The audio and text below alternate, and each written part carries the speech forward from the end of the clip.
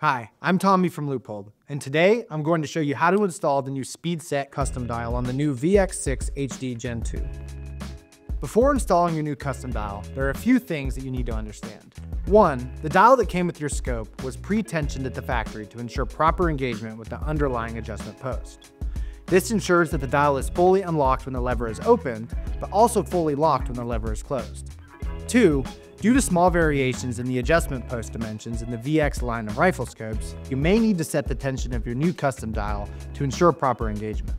This is easy and will require using a small flathead screwdriver. Once the tension adjustment is made on the custom dial, it will not need to be adjusted again. To remove the existing dial, the one that your scope came with, press the lever release button and rotate the speed set lever to the fully unlocked position. In other words, rotate it until it stops. Now, the dial can be lifted from the underlying adjustment post and removed from the scope. Next, with the lever of your custom dial in the fully unlocked position, align the dial to the index mark on the scope's main tube. Now, you want to firmly seat the dial onto the underlying adjustment post. Ensure that the speed set lever is in the up and fully unlocked position, allowing access to the tension screw.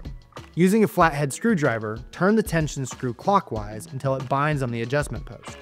Turn the tension screw counterclockwise one click at a time until the dial can slip off the adjustment post. Now try to close and lock the speed set lever.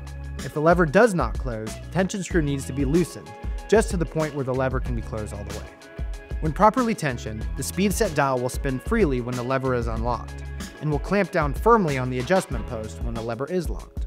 And that's how you install the new SpeedSet custom dial system. To use it, simply lift the lever, make your adjustment, and lower the lever. That's all the action that's required. If you'd like to learn more on how to use it, click the link in the description below.